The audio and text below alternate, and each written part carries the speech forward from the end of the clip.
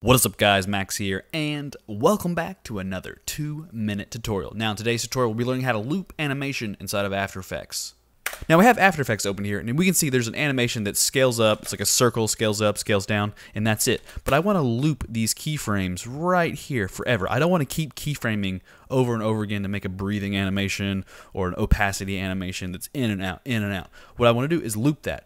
So to make this magic happen, we have to find the keyframes you want to repeat in the first place. So if you don't know where they're at, click U on your keyboard, which shows all your keyframes for that current layer.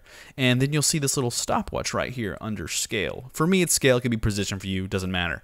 Um, but the stopwatch is what we need. So if you're on a Mac, you're going to click Command. If you're on a PC, you're going to click Alt. You're going to hold down Alt or Command, and then click the stopwatch with your mouse. Then that pops open this dialog box, and this is where you can type in expressions, which we're going to type in an expression to loop this animation. So the expression is super simple. So get rid of this, and we're going to type loop out, open bracket, double quotes, cycle, double quotes, comma, zero, close bracket, and a semicolon to close it off.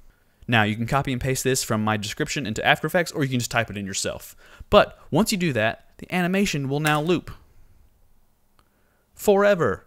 And if we decide to add in another keyframe right here at zero for this scale, zero or something, um, it will also loop the new keyframe we put in. So closed, open, closed. Perfect, just like that. And that is how you loop animation inside of After Effects in under two minutes. As always, I'm Max. Thank you for watching my videos. Thank you for being a part of the channel. And uh, I'll catch you guys in the next video. Peace.